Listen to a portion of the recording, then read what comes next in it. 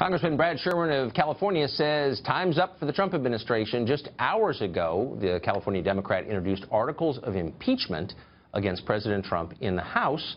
Congressman Sherman said he introduced the articles in response to the recent news about Donald Trump Jr. and his meetings with that Russian lawyer. Impeachment, as you know, requires high crimes and misdemeanors to be proved. What are those? Congressman Sherman joins us tonight in the studio to explain. That was so fast. I mean, he's only been in office no, no, no, seven months, and now he's going to be... I didn't file these in response to the, the emails. They further bolster it. But right. I circulated the, uh, these articles of impeachment a month ago, said I was going to consult with experts, did that for about three weeks, and Congress went on break. This is our first day back. Well, a month ago you're doing this. Well, then that, I mean, that's, that's the Mm-hmm. shortest administration on record. It didn't. No, Harrison. But Harrison.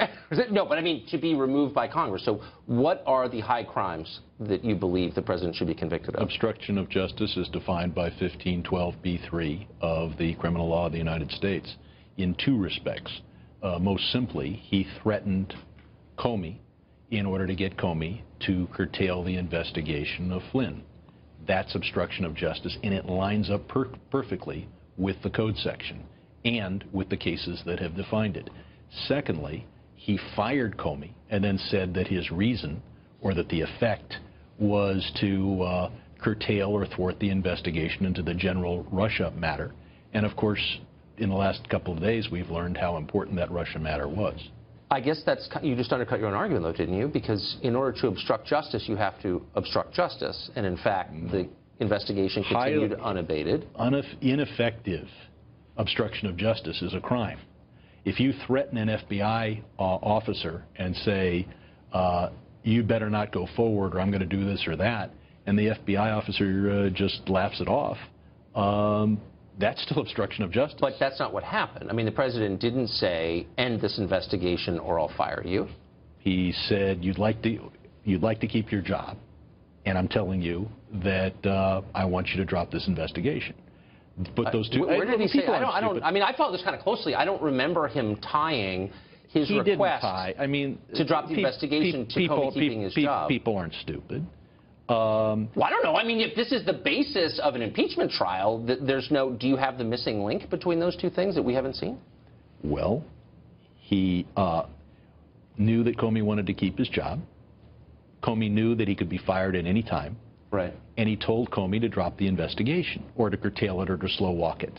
Right. But he didn't actually say what you said he said. I mean, that's not Well, I put true. together, yes, he did say that, but he said it at two different times. I put together what he said on one occasion with what else. Even if he So it's sort of a pastiche. He didn't even, he didn't, that he, didn't, didn't even need Okay. to have the first, the, the, the first conversation. When, for, um, in order to protect a friend, Right. protect himself, he instructs the FBI director to drop or curtail an investigation of a close associate like Michael Flynn. That is obstruction of justice. Okay, I mean, doubt it, look, well, look we've been through this a million times on this show, and I and I, Mm-hmm. you know, I know your point on this, and I respectfully disagree. But I guess the larger question is, why are you doing this? He's not. He's of course he's not going to be impeached in this congressional term, knowing what we know now. So what would be the point of doing this? Well, it can have either of two effects. Uh, the hope is that it triggers an investigation, an intervention in the White House, and this is a faint hope, that his staff is finally able to say, now it's real articles, and for that and for so many other reasons, Mr. President, you've got to stop announcing reversals in foreign policy at 4 in the morning in 140 characters. You've got to stop uh, uh, uh, making foreign policy in complete ignorance of the facts. Wait, so you're you're impeaching him so he'll stop tweeting? My hope is that we end incompetent, impulsive government. If that happens, is this really? No, but come on. I mean, look, I'm against incompetent, impulsive government Mm-hmm. by anyone. right? But I mean, you're a, a savvy, long-serving member of Congress. If that was really your concern, why not try and help? If you if you impeach him or try to impeach him, it's just going to go up the gears more. Less will get done. Fewer clear-minded decisions will be made. You know that that's true. So if your real concern is good government, this is kind of the opposite This, of what you'd be what's doing. needed, and, and look, this is unlikely to happen, but again and again, people close to Trump have tried to sit him down and tried to get him to be competent. If he's competent, then the fact that he obstructed justice will be ignored by the Republican majority, and there, he will not be impeached. But that's a little. Cr- I mean, you really think Trump's going to say, you know, Reince Priebus has come in and asked me not to tweet, my daughter, my son-in-law, but whoa, Brad Sherman No, of Los Angeles is against it. No, no, no. So I'm stopping. No. This is one more element, and he's not going to do it for me or because I suggest it. They need to convince him that his presidency is at risk. And I think that if he continues this style of government for six months, eight months more, it will be at risk. But oh, I mean, it's not the only thing at risk. I mean, the Democratic Party has lost everything. Its Mm-hmm. its losses are historic in their scale, and this stuff, focusing on Trump the man, on his tweeting, on his character.